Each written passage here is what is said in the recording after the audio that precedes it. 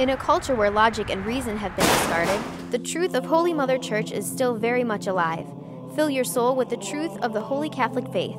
Get your premium account at churchmilitant.tv today and discover the truth.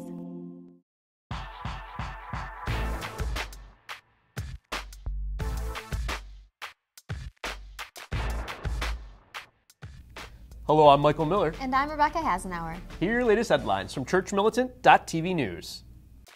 A measure that would have allowed late term abortions in the state of New York died in the state Senate late yesterday. The controversial provision would have legalized abortions after 24 weeks when a woman's health, not only her life, was at risk. The White House has officially issued a statement of administration policy saying that Obama's advisors are encouraging him to veto the Pain Capable Unborn Child Protection Act, or H.R. 1797, which would protect all preborn children 20 weeks and over from being aborted.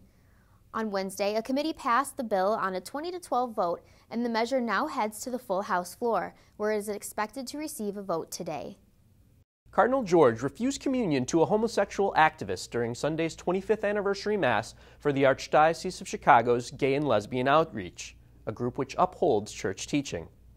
The activist, who is the founder and executive director of the U.S. Rainbow Sash Movement, was eventually given communion by a friend who took a consecrated host but did not consume it.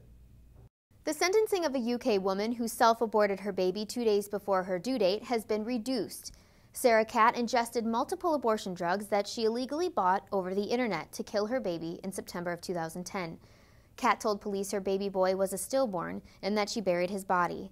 Her original sentence was for eight years, but now has been reduced to three and a half due to, quote, potential for disturbance, personal misery, and long lasting difficulty. An Italian Catholic activist and journalist who saved Jewish lives during World War II was beatified at a ceremony on Saturday in his hometown of Carpi in northern Italy.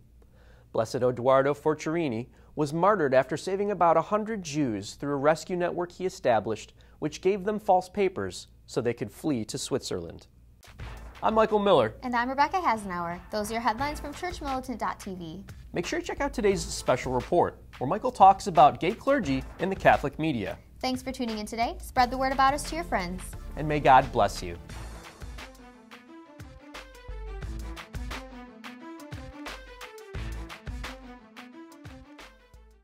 Sick of TV and its cultural rot?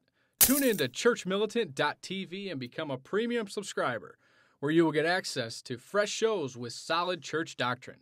As a premium subscriber, you'll get hundreds of hours of programming, which includes investigative shows, catechesis, apologetics, church history lessons, and a lot more. What are you waiting for? Forget the bad television and dive into the riches of the Catholic faith for only $10 a month.